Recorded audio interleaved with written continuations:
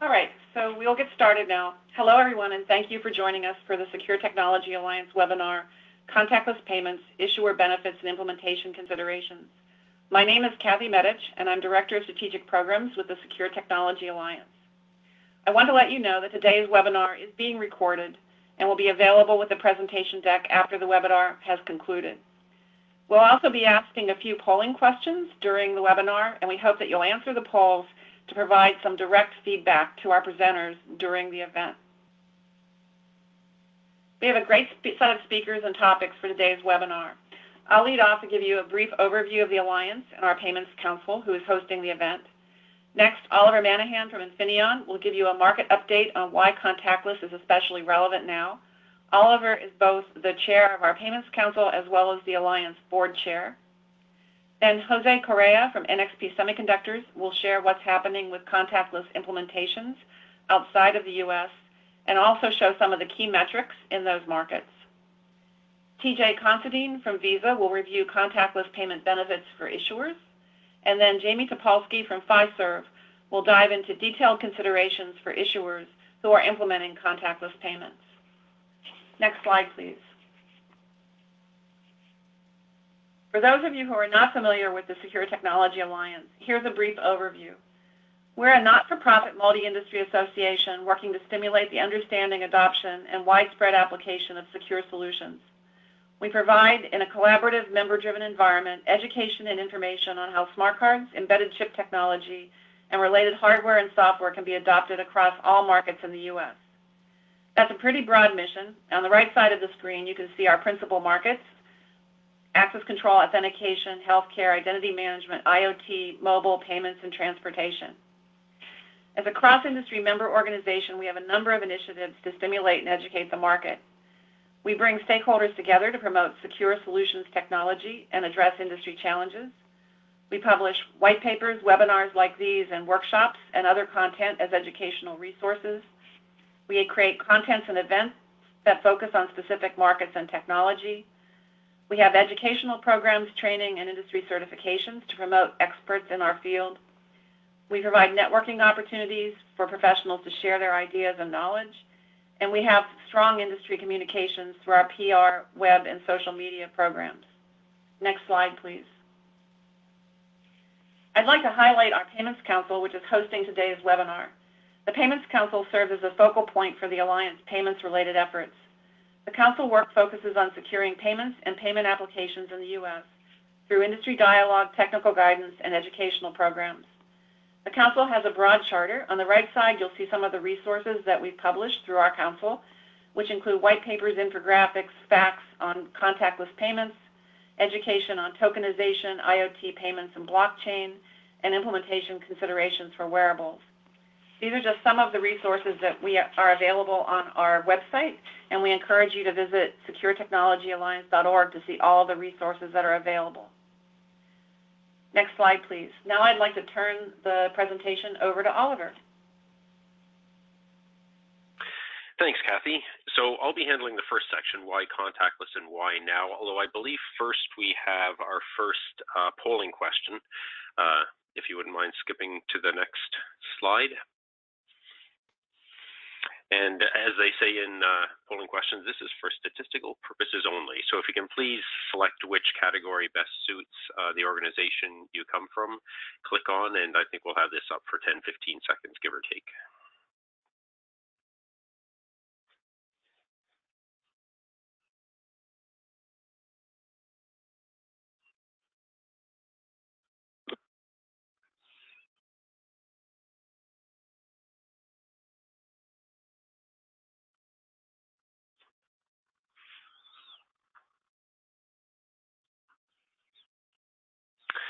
Great. So lots of issuers, but uh, the rest of the um, community is, is fairly well represented too. Um, you know, merchants, we're doing a specific uh, webinar for them in about a month's time, so um, I'm sure those numbers, uh, the first two will be reversed at that point, but uh, great representation. If we could move to the first slide then.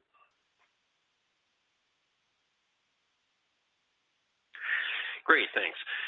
So the first question we often get asked when we start talking about contactless, particularly in the U.S. market, is um, we've done this already. So we really wanted to, you know, quickly go over what's changed since the mid 2000s. So there were, in fact, a few trials, some big issuers, uh, some merchants, but there really wasn't enough ubiquity to drive or or uh, change uh, behavior for consumers, et cetera.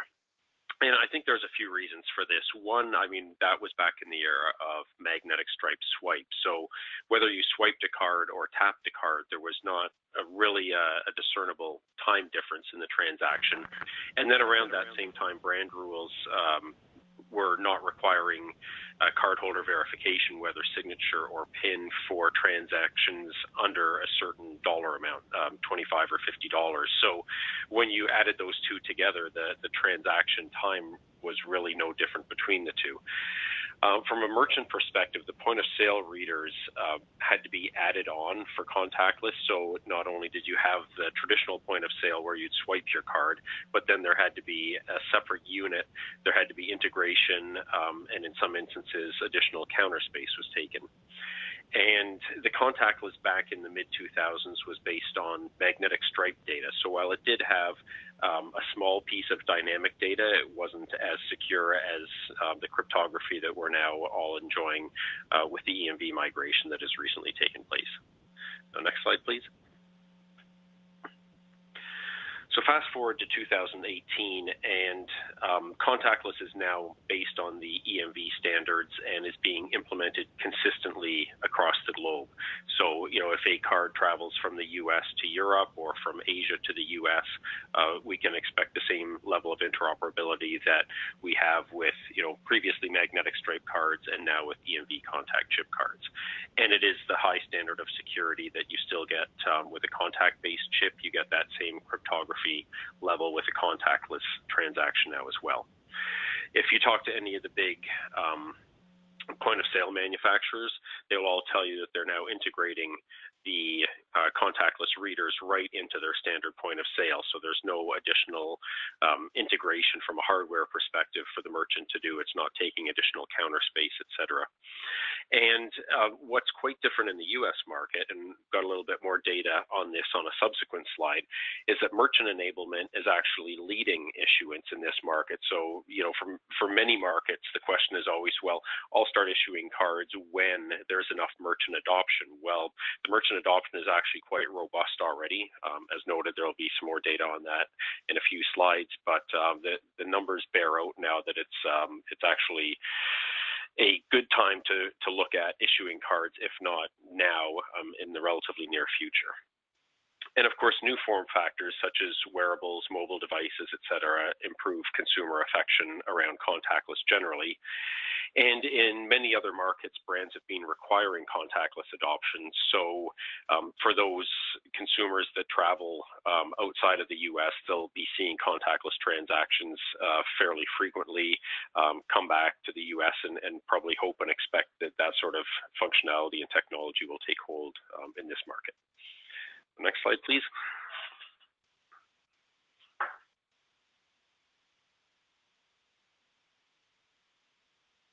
Thanks.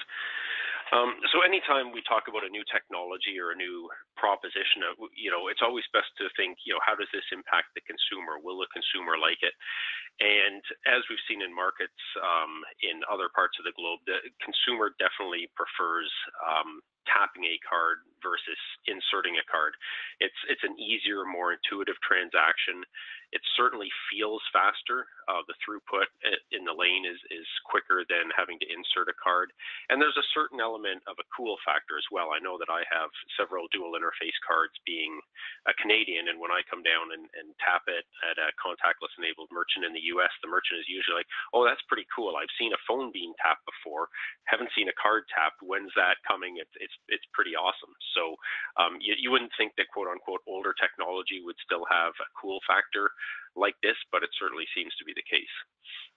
And in other markets, we've seen an increase um, in usage and frequency. So people tend to use contactless cards for more lower value transactions, and it becomes top of wallet because uh, the consumer is using that card more often.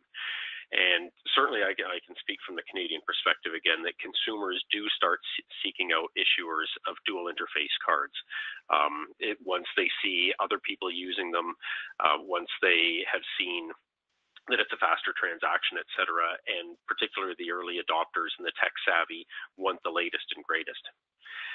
Um, a few other points. There's still no forgot or there's no forgotten card if you're just holding onto your card and tapping it. There's no um, concern of having of having left that card in the EMV reader, or perhaps that annoying beep that you get at the end of the transaction if you have in fact forgotten your card in the reader it's a consistent experience across all devices. So whether it's a contactless card, uh, a wearable such as a watch, a mobile device, you get that same transaction experience of, of tapping through all of those form factors.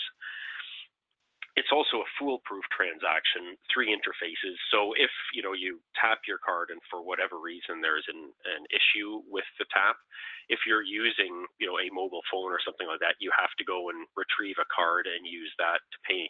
If you have a card in your hand already and there's a, a glitch with the tap, you can insert the card. Um, and even if there's a problem in that instance, if for whatever reason all of the chip functionality is not working on that point of sale device, um, you can still swipe that card. So you've got the card in your hand and there's no awkward, okay, now I have to find my card because my tap of another device didn't work.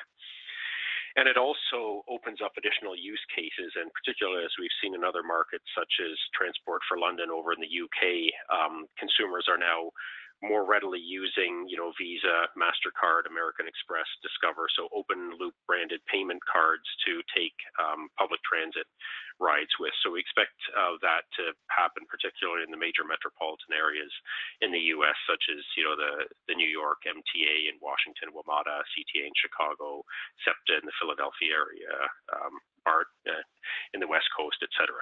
So uh, next slide, then, please.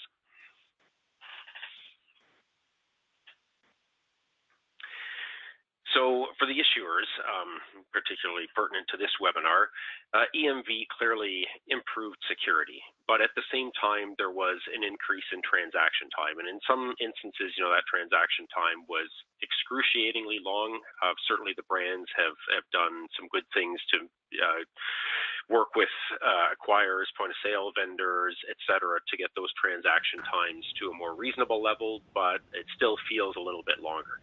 Now, as I noted earlier, contactless transactions now have the same level of EMV security, but contactless is also a decreased tra- transaction time. So typically we say, you know, it's less than a half a second to complete a contactless transaction. So you tap, the point of sale beeps, and then you go on. The authorization still goes on, et cetera, but um, in terms of the consumer having to interact with the point of sale, it's sub half a second. And uh, other markets have shown that consumers use dual interface cards more frequently, particularly for lower value transactions. So there's a tender shift from cash to electronic, and therefore, for all of us that you know partake in uh, processing of electronic transactions, we we think that's a benefit. Um, certainly, and I'll speak to my home market again now. I will see in coffee shops and places like that where you used to see you know a five dollar or ten dollar bill uh, being used to purchase a couple of coffees. It's now either using a mobile app or tapping a card. I rarely see cash in those types of what used to be traditional cash heavy merchant categories. And vast majority of face-to-face transactions are still card-based. So uh, dual interface cards help shift consumer behavior to tap, thus enabling the shift to mobile. So one of the questions we often get is, you know, why would we do a card that's contactless when you know we could do one of the pays, uh, Apple Pay, Samsung Pay, Google Pay, etc. And the fact of the matter is, except for those that are near and dear to payments or the tech savvy or early adopters, the vast majority of people are still pulling out their cards because it's something that works and behaviorally for the past 40 odd years, it's it's the way that they've been used to paying for things at the point of sale. So next slide, please.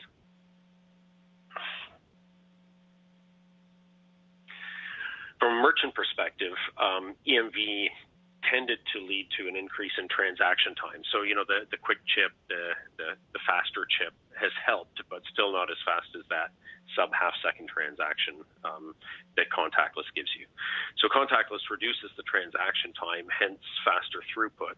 And as I noted earlier, it's still seen as cool um, by early adopters and tech savvy. So, you know, the, the earlier merchants that adopt it are seen as those that are sort of in touch with consumer demands, particularly those that um, uh, fall into those categories of uh, tech savvy early adopter.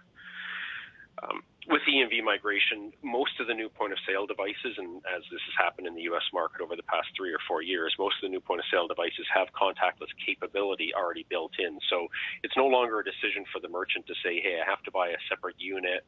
I have to figure out how to integrate that from a hardware perspective. The question really becomes, do I enable that contactless functionality within the device that I already have? So, you know, not simple, but um, a lot less of a complicated decision as it was, you know, a dozen years ago.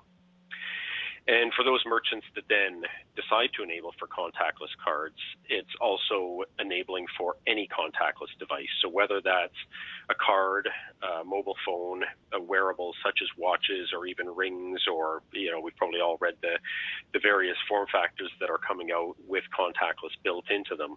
Um, when the merchant enables, they're enabling for all of those um, as they turn it on. Next slide, please.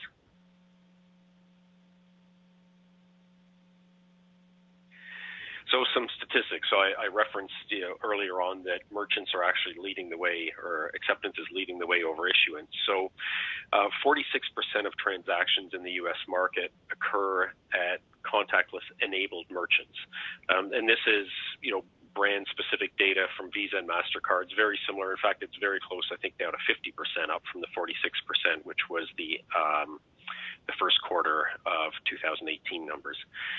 70% of merchant locations are capable of contactless transactions. So, you know, it's that question again for them if they want to enable it. And of the new terminals that are shipping um, out to merchants, over 95% of those have the contactless capability. So certainly that the whole acceptance market is either already enabled or quite primed to be enabled. Um, you know, if they start seeing issuance of contactless devices uh, becoming more prevalent and there's a 10% increase in active unique merchants uh, in the U.S. Uh, year over year. So also a pretty good growth curve there. From an issuer perspective, um, 5% of the cards are contactless today, uh, 7% credit, 1% debit, but there is an 80% growth in contactless transactions year over year. So granted from a small base, but um, that that uh, growth is happening uh, fairly dramatically. And what issuers are finding is that without too much marketing or knowledge of where contactless merchants are, they are seeing that consumers quite intuitively figure out their card can do contactless and and do the transactions, and the transaction growth is occurring um, as they were expecting.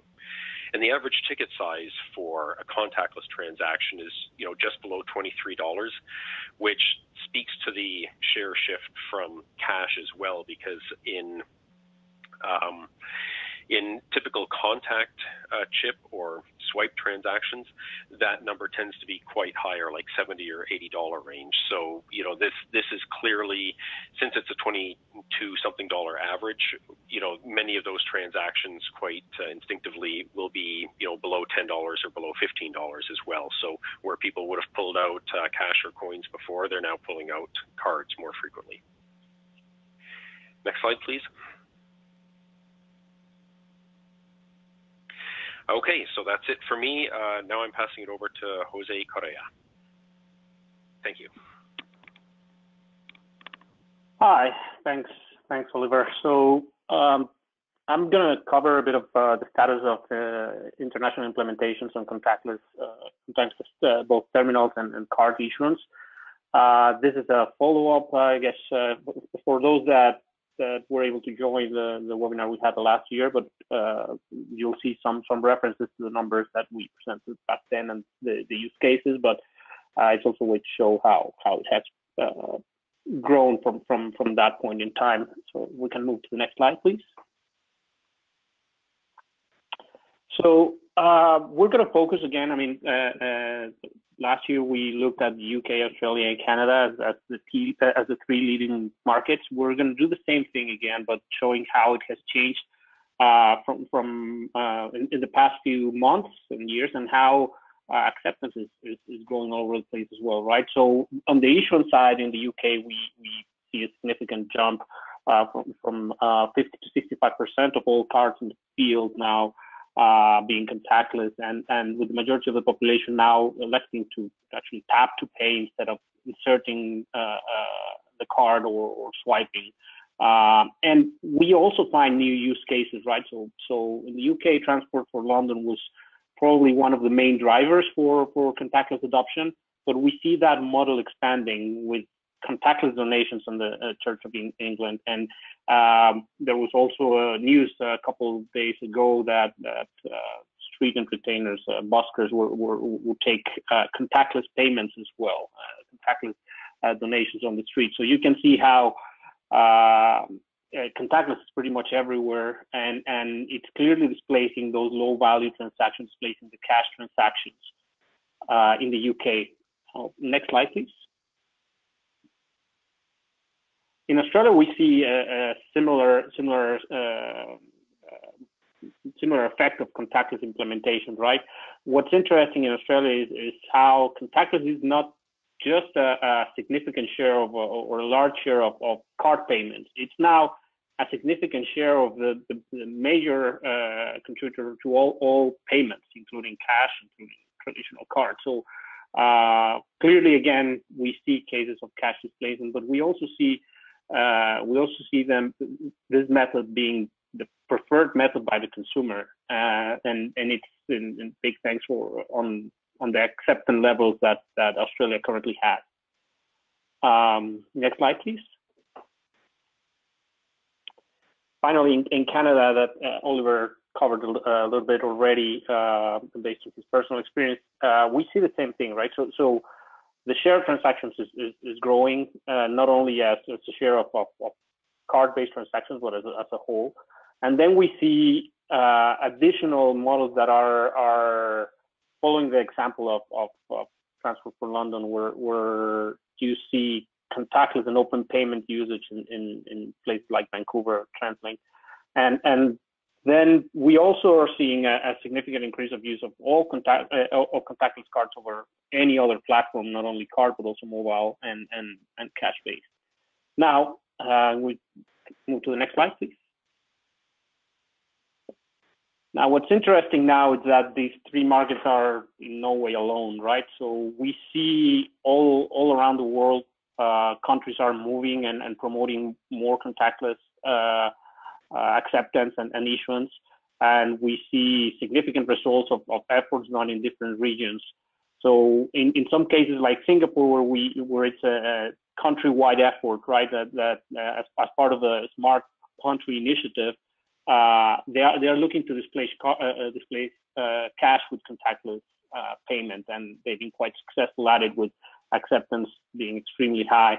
In Europe, we have cases like the Czech Republic and Poland, where where acceptance is now a given, and and again, following the same example and, and targeting that cash displacement on on public transportation, we see.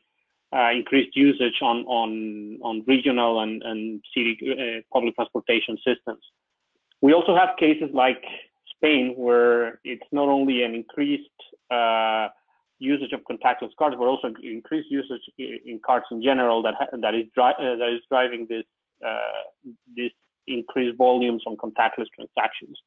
And and and finally, in Latin America, uh, we also have uh, several countries. Uh, Brazil, for example, but Chile, I think, is probably leading on on the acceptance acceptance piece and, and also implementing a program where public transportation uh, now now will accept uh, contactless payments. Uh, again, changing a market dynamic that, that was uh, quite firm, firmly established in Latin America in the past. Now, uh, next slide, please. As to why this is happening, I mean, it's it's no secret. The the payment networks, uh, it, obviously, the, the we we know that that it provides a better experience for the consumer, but it's also uh, because of the, the consistent efforts for the different payment networks, right? And and that is reflected on on the recommendations, mandates, and policies that the payment networks have have uh, uh, promoted and are promoting the next few years. uh, with card issuance in most of the world uh, being pretty much uh, mandated, uh, contactless dual interface card issuance being mandated in some markets as early as 2019. And then on the acceptance front, pretty much all new terminals being now um, contactless enabled, uh, and uh, in the near future, even replacing those uh, terminals that are, that are not contactless enabled yet. So with that, we close the section so we can move to the next slide for another question for the audience. And here's, we'd like to, I think the, the strong presence of issuers will, will help provide really valuable information on this one. I'll give a few seconds for the next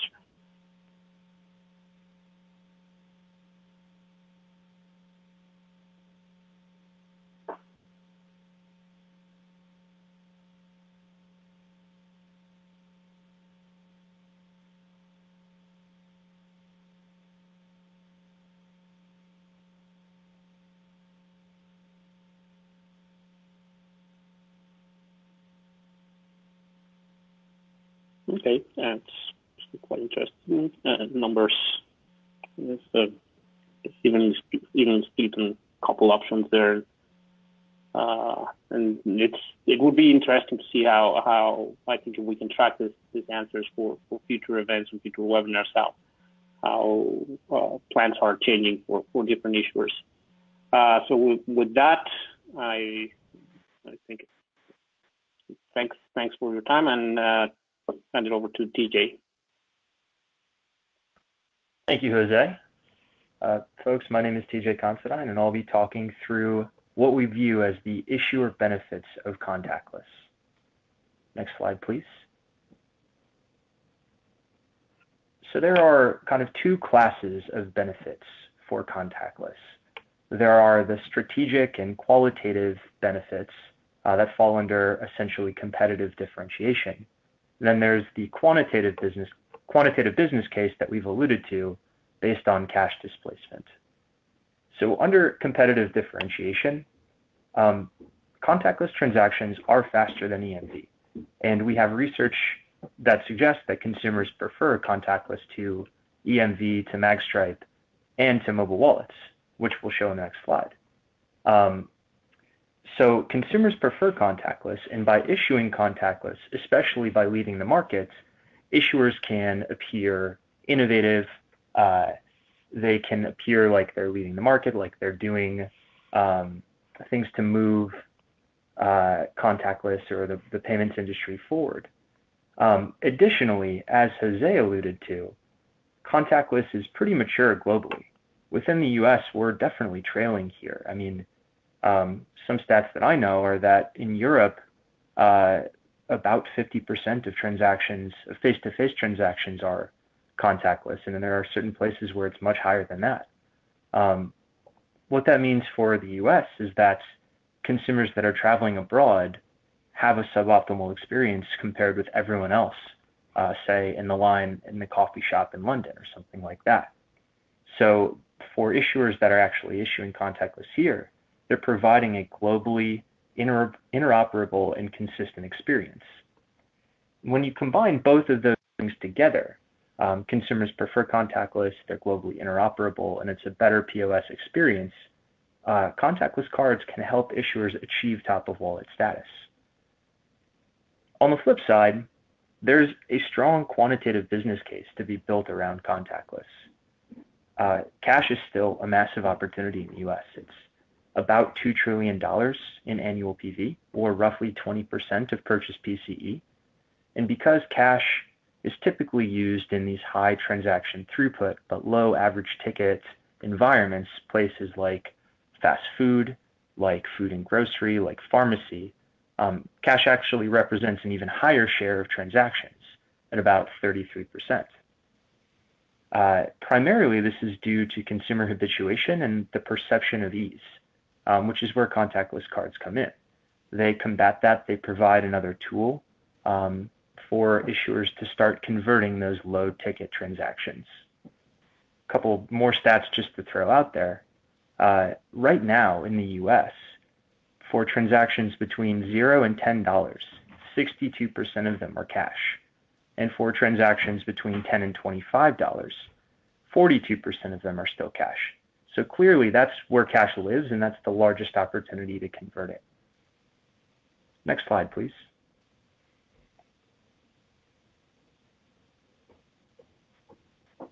So I alluded to the fact that consumers prefer contactless cards. And this is, this is research from the US on consumers that currently hold contactless enabled cards.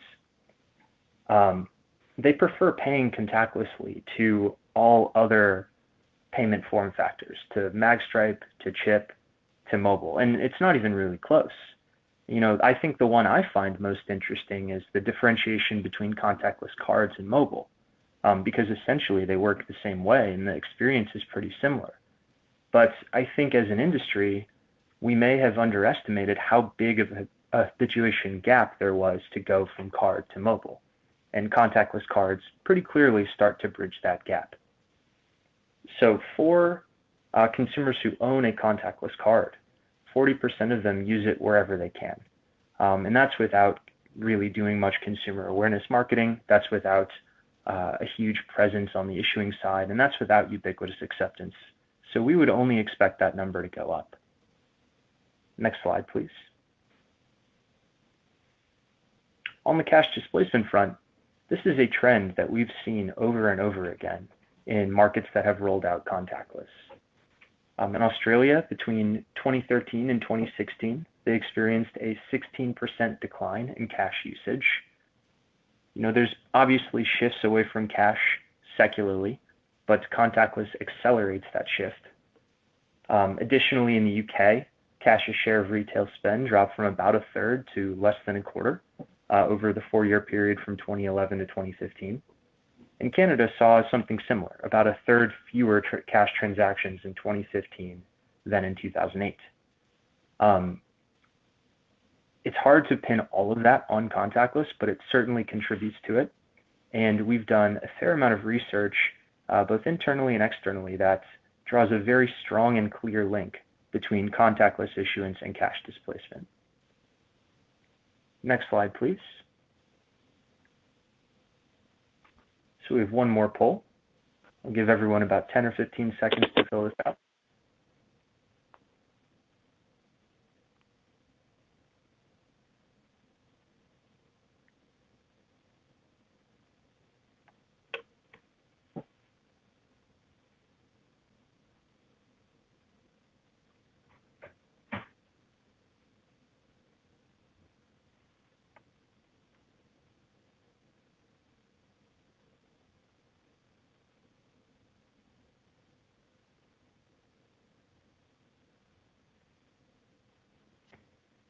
All right. So it seems pretty evenly split between top of wallet preference, conversion of cash, and competitive differentiation. And the truth is, all of those things work together. They're not in isolation.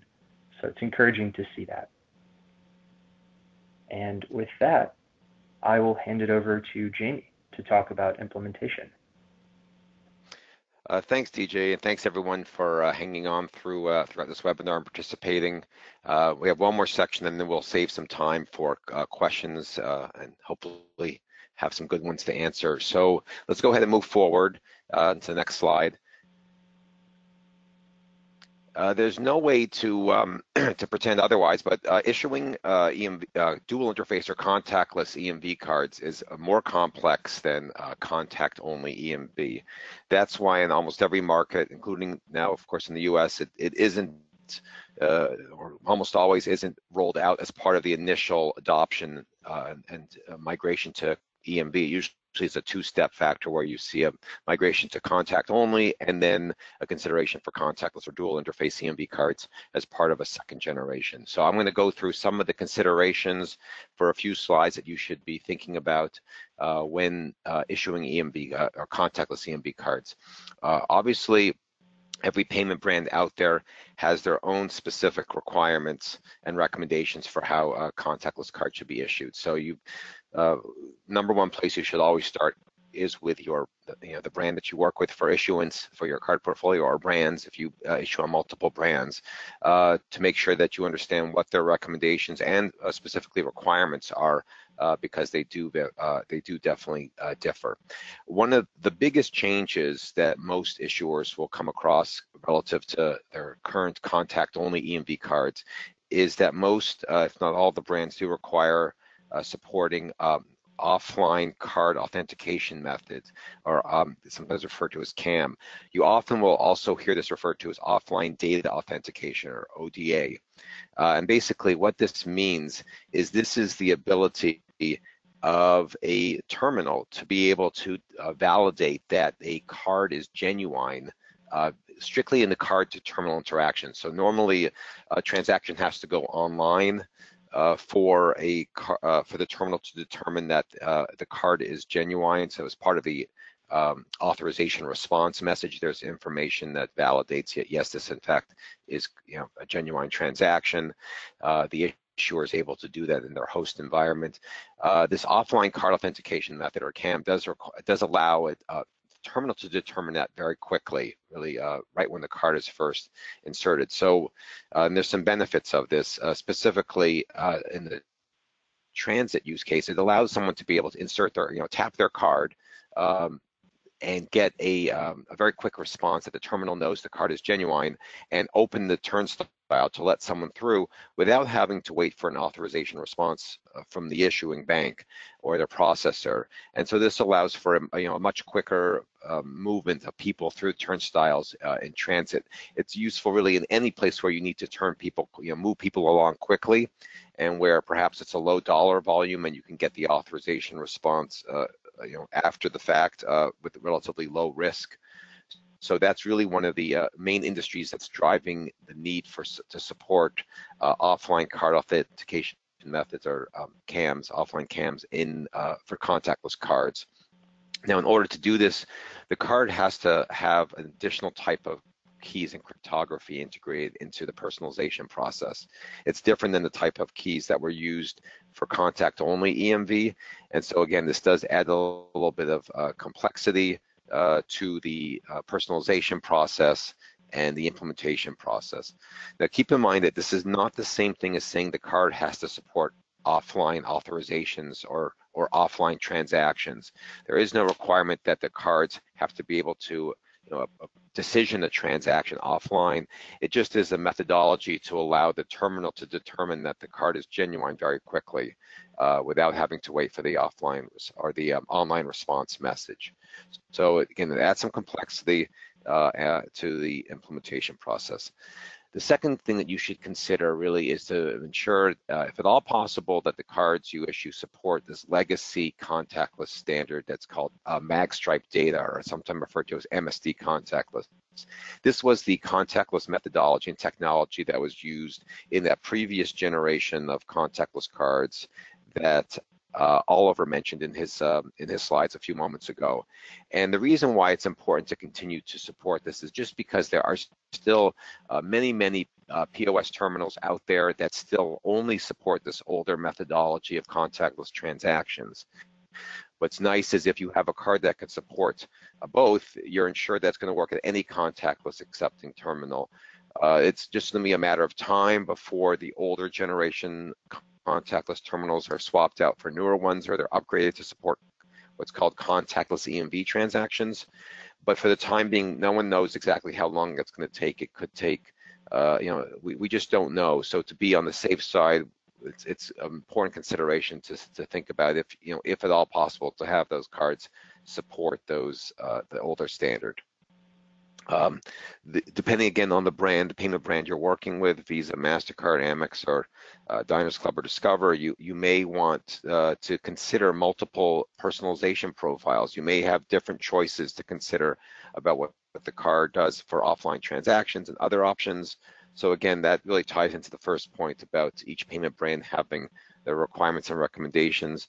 But again, some payment brands uh, steer very strongly to just one particular profile Others give you many options to consider. So again, be aware of those and what are the uh, trade-offs and benefits of each of those options.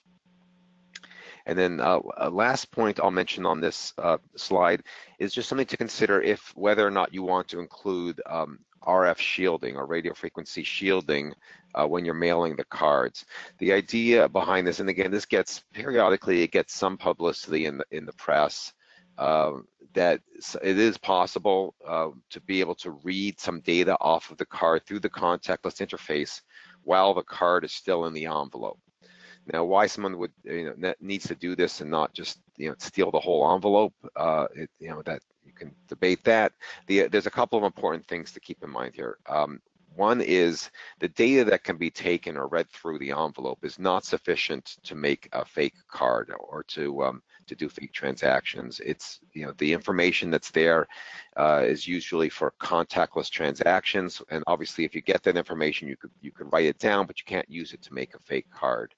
Second thing is you can shield the envelope. There's there's ways again the the um, personalization vendors you work with can provide solutions to this. Either you can do an insert, like a buck slip inside the envelope that uh, contains some shielding material on it, or the entire envelope can be shielded to prevent the radio uh, signals from getting, you know, from being penetrated.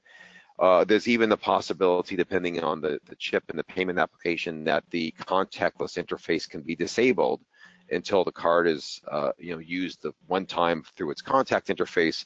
So that's another option to, to discuss with your vendors. It, again, it's not, to the best of my knowledge, it's not required by any of the payment brands.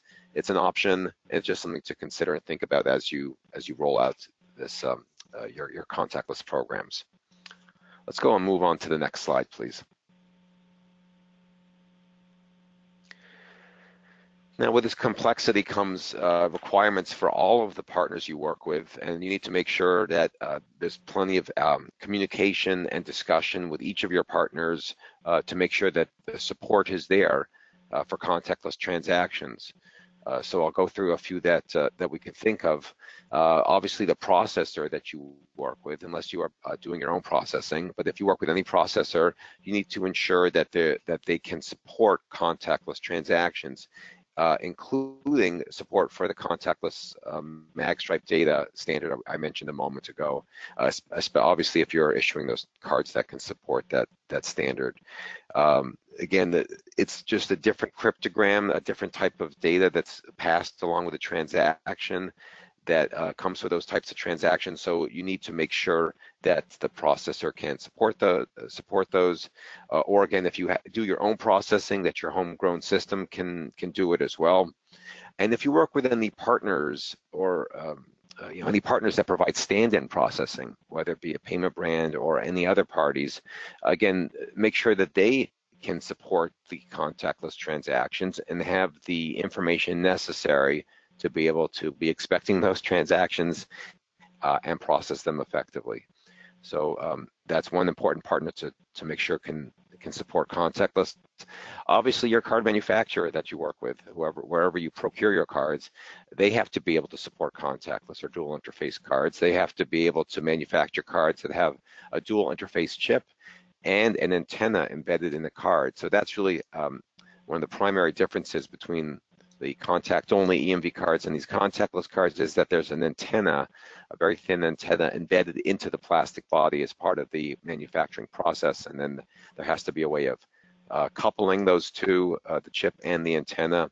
Uh, there's different technologies to support that. So again, make sure you work with your manufacturer to get that done. Uh, you should plan for a change in your card design. And there's a couple things you could think about. Uh, one is uh, to include the contactless indicator, which is pictured there on the slide. Uh, and again, depending on the payment brand, there may be specifications about where that must go on the card or what size it must be. So uh, most of the payment brands have card brand guidelines that specify this. One thing I'll just mention is if you have the ability to place that on the front of the card, uh, you might think about doing uh, doing that as almost a, a promotion of the card's capability. This is something that's new. It really is a very you know a very nice benefit and well received by the card holder but it's important that they know it's there and putting that symbol on the front of the card reminds them every time they pull it out of their wallet that oh yeah that's right I can try tapping and you know and save myself a few seconds. So again, it's um, it's kind of like uh, selling, if you will, the benefit that you provide to your card holders by putting it on the front. One other thing to be aware of is the um, you know the part on the front of the card where you see the chip. It's actually called the contact plate. It's not the chip itself, but it's the the part that you insert into the terminal to um, you know to have a contact EMV transaction that contact plate, the size of it might be different than, uh, you know, slightly larger than what you have for your contact only chip. There are different sizes available for both contact only and dual interface uh, EMV cards. Uh, but, but just be aware, uh, depending on the chip that you that you select and that your manufacturer has available, the size of that contact plate might be a, a bit larger, and so it might require or might um, provoke, uh, sort of promote redesign of this or a slight redesign of your plastic to accommodate that larger chip size. Uh, the personalization bureau that you work with, again, if you don't personalize cards yourself in, uh, in-house, they have to be able to support the contactless profiles and to, they have to be able to generate those additional keys necessary for the offline card authentication method or offline CAM. And lastly, and, and very importantly, don't overlook your instant issuance vendor if you do any in-branch instant issuance. Again, you might require upgrades to your equipment and, um, or most likely your software that's used to personalize your EMV cards. Uh, fortunately, most of the equipment that I've encountered for instant issuance can support dual interface uh, cards or contactless cards because they're in most cases, they're personalized to the exact same contact interface for both the contact and contactless transactions. But again, just make sure you work with your vendor, uh, and they like likely um, also may need to generate and support the keys needed for those offline um, data authentication or offline card authentication method. So just be aware of that, and that might require even an upgrade to uh, an HSM if you have that as part of your instant issuance solution. Uh, let's go on to the next slide. Uh, you should give some thought to um, how you're going to do this in terms of timing and market segmentation. Uh, the reality is that with with the contact EMV cards, we also we're all up against a certain type of it wasn't really a deadline, but there was a liability shift that had a, a specific date uh, you know, differed by the, you know, payment brands and different things like that. But ultimately, there was a liability shift with a, with a line drawn in the sand that a lot of people wanted to make sure they were ready for. We don't have anything like that, like a ticking clock here that uh, forces everyone to shoot to shoot for a certain date. So you have flexibility in terms of how you roll out your contactless cards and when you time it. So again, this which is which is good. It gives you some flexibility. What uh, many will do is you can uh, schedule things so that the transition to contactless coincides with the natural reissuance of your, so the second, let's just say the second generation of issuance of your EMV card. So the first time someone got an EMV card from you, uh, it would be a contact only. And then three, four, five years later, whatever your reissuance cycle might be, then you replace that with a contactless or dual interface EMV card. That's a very common strategy, but some of you may have other off-cycle events that uh, would encourage you or, or be a good opportunity to do a much more accelerated reissuance with contactless, such as if you're doing, you know, uh, switching brands on your card. If there's a, um, you know, if you're acquiring another uh, bank or being acquired or credit union, if there's mergers and acquisitions, things like that going on, significant branding changes within your within your institution, not just a change of the brand on the front of the card, but changes within your institution. Any of those could be an off-cycle event that would require, you know, that might be leverageable to get uh, contactless cards out there. So again, your particular uh, circumstances could drive the timing of your issuance. Uh, and then again, you could think that the you know the rollout strategy or timing could differ uh, for your credit portfolio versus your debit portfolio. One of the statistics we saw earlier on in the presentation was that there's a higher rollout penetration for credit cards versus debit. Uh, so you do see some of that already present uh, to this at, at this point. And again, you don't have to, but you could think about how uh, how to segment your portfolio for rollouts or for issuance of contactless cards. So uh, one of the most compelling use cases for contactless is on public transit. So if you have a certain percentage of cardholders that are in uh, New York or Boston or Chicago or markets with with you know significant usage of the of public transportation, you might prioritize those markets or just you know just, just issue there to start to see how it goes. Uh, another way you could segment is by a, a, level of card usage or engagement. So you know only issue to your active cardholders or you know issue to inactive cardholders and see if that moves the needle and gets them to start using the card more uh, issue to people who travel outside the U.S. You know, people who are traveling frequently to Canada or Europe. Um, again, since contactless acceptance is so advanced in those markets and really in many in many ways expected. Uh, many people who travel to the U.S. find that when you know they go into a coffee shop, uh, that the person behind the counter first, you know, try, you know, by default tries to tap their card because all the cards there that they encounter on a day-to-day -day basis are contactless. So again, you might find real strong usage in uh, use cases for uh, getting those card holders contactless cards. You might use it as a differentiator for your high net worth portfolio. Um, but again, the the other side of segmentation like this is to consider the the cost of it. Um, obviously, it's it's it's more expensive to issue contactless cards versus contact only, but there's also costs associated with maintaining multiple card inventories, some contact only for some of your portfolio and contactless for other parts of your portfolio. So again, consider uh, the trade-off. Let's go ahead and move on to the next slide. Uh, please make sure you uh, save some time and put some effort into developing education uh, materials both for cardholders and for your employees. Um, just as you revised your card carriers when you first went to, to EMV to, to explain how, how to use an EMV chip card and what were the benefits of the EMV chip card, you're going to want to do something similar here once you're going through the uh, time and effort of doing contactless cards. So again, give the information about the benefits of the, speed of the transaction, where they can use the transaction, uh, even the, it sounds silly, but explaining how to complete a contactless transaction. Many people just kind of wave it and uh, very quickly by the the contactless reader and expect it to work instantly, as opposed to you know tapping and holding for a half a second and hearing that beep or the seeing that light. So again, promote the benefits, promote the um, you know the information about how to use it. Uh, emphasize that these contactless cards are secure and the safety of it, because again, you know you will see some people out there explaining, you know, trying to scare everyone about the threats of someone reading these cards uh, and, and stealing the data. And it's just not the case. But there are people who are trying to make a quick buck off of selling, you know, shields and special wallets and this and that by scaring everyone. So be prepared for that like and communicate effectively. Likewise for your employees, uh, train them about these cards as well to make sure they can answer questions if someone calls in and asks about the safety of the cards. They may need to be able to identify contactless transactions for processing of, I don't know, of disputes or chargebacks, depending on the payment brand rules and regulations. So uh, just be aware of employee um, education as well.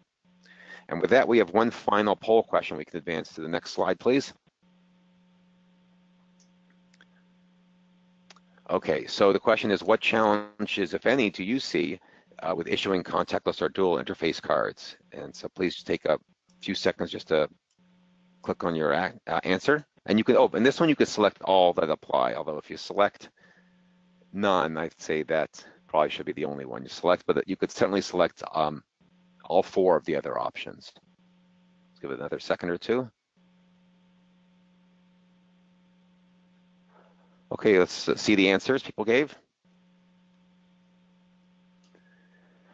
Okay, so yeah, the top answer was uh, the acceptance infrastructure, but very close behind it is the business case and understanding and being able to make a uh, compelling business case to justify the investment needed for contactless. Uh, so that's very important, and certainly, hopefully, some of the information that uh, that we provided, uh, TJ provided about the increase in usage and the displacement of cash and the um, the potential that provides for incremental revenue uh, could help solve that problem. Uh, so with that, let's go ahead and move forward uh, to the, I believe we have uh, questions and answers coming up uh, next. Cathy? Great, thank you, Jamie, and thank you, presenters, and thanks to everyone who participated in the poll. We have a couple of minutes for a few questions, and we had a number of really good ones come in. So um, first, um, there were quite uh, several questions that came in, Jose, on the uh, payment network requirements and mandates um, in terms of whether that applies outside the U.S., inside the U.S. Can you help to um, qualify that? Uh, yeah, and, and most of the the requirements and mandates are for outside of the U.S. today, so it's Latin America, uh, Europe, uh, Asia. Um, I, I, and there are different timelines depending on the specific uh, payment network, right? So, so I, I, guess first the clarification when we're talking about guidelines and mandates in that section was just international outside of the U.S. Now, as to the specific dates, I believe we there are additional resources. A lot of the networks have made it public, uh, have publicly announced, and I would invite uh, uh, the different issuers merchants to, to contact their network payment network uh, representative to to get a bit uh, to get more details. Thanks, Jose. That clarifies. Um, there's a question, TJ, on some of the stats that you presented on um, how contactless adoption um, segments by debit versus credit card usage. Do you have any further information on that? Yeah, definitely. So we think contactless, the rollout will mirror EMV, where credit will lead, um, just because it's easier operationally. You can segment it a little better, uh, and you can target consumers who you think will use it a little bit better with debit following. That said, because contactless is uh, most pertinent for these everyday spend segments, which are primarily debit today, we think the business case for debit um, is just as strong, if not stronger, than for credit. And in fact, there are a handful of issuers um, that have converted their entire debit portfolios to contactless already, uh, and they are seeing double-digit usage of contactless, meaning that more than 10% of their face-to-face transactions are contactless today. Great. Thanks, TJ. Um, we had a number of questions come in on merchant acceptance, and that was one of the top uh, challenges that were cited. And so the questions revolve around uh, what does a merchant need to do to turn on contactless if they're enabled but not capable? Um, and what um, what's the certification process? Can someone take that question? Maybe um, TJ, you could start.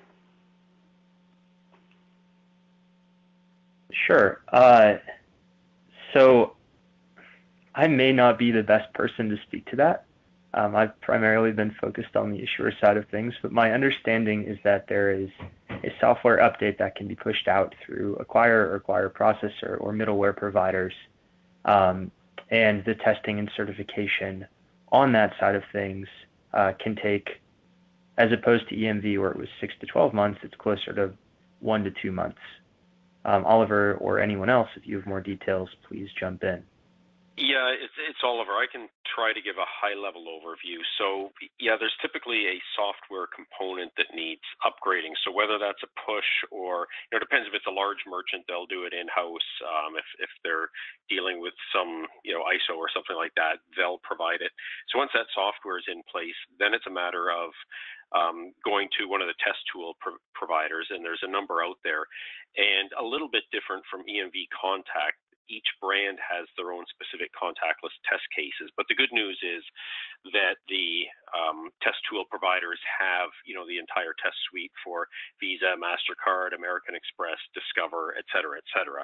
So once you get the test tool, whether it's, you know, you acquire that in-house or through your payment processing provider, you run through the suite of them, make sure everything's working, and then you go to the payment brand for, you know, the final seal of approval. So it's not particularly onerous um, certainly easier than it was in days gone by. Thanks, Oliver. And I'll, I'll, do one more question. I apologize for running late today, but we still do have quite a few people on the call. And this question came in in terms of um, do you really need to issue contactless cards? Why not promote and issue the various pays to do contactless?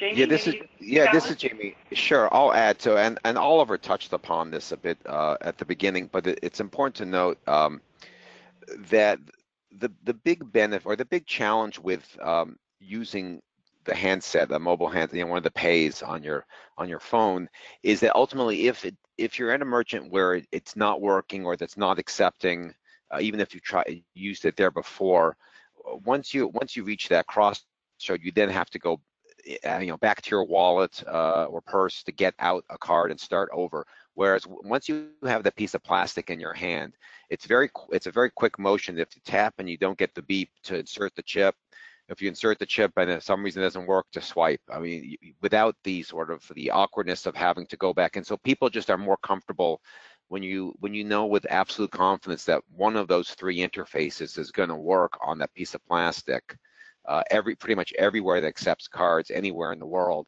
uh, that you, you know you just feel much more confident pulling that out of your wallet and and using that as your payment methodology yeah the thought was initially maybe you know we'll use the the mobile device for the contactless inter transactions and use the, phys the physical plastic for everything else.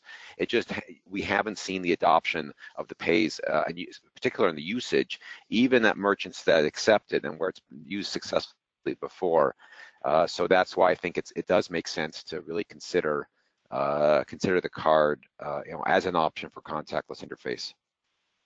Yeah, and it's Oliver, and I, th- I think another sort of interesting point, and uh, again, I, so I live up in Canada. It's a very mature contactless market, and we have all of the pays as well.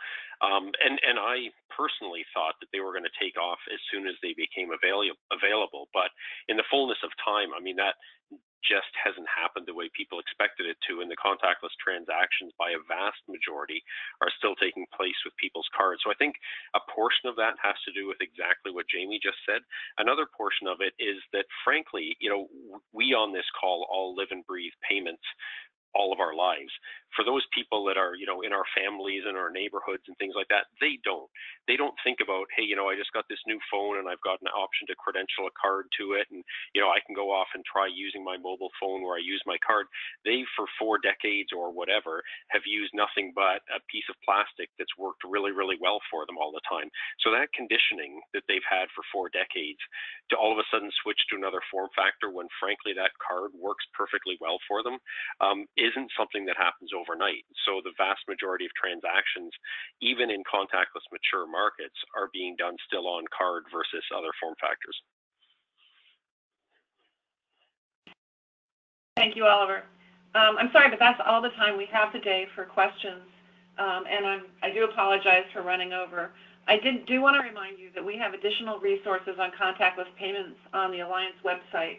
Um, it, next slide, please, in our Knowledge Center. So if you look at both the Alliance website and the U.S. Payments Forum website, you'll find um, both um, white papers, infographics, as well as a security Q&A for those of you who would like to learn more about security. Next slide, please. So I'd like to thank Oliver, Jose, TJ, and Jamie for their presentations in support of this web webinar, and to all of you for attending. Um, I did put the contact information for the presenters today. If you have further questions, you can send those to me or to send them to the other presenters. Also, um, when the um, webinar ends, you'll see a short four-question survey. If you could answer um, the questions and let us know what you got out of the webinar, that would be great. It would help us plan our future webinars. We will we was we were recording this webinar and we will be posting a link and in an email to you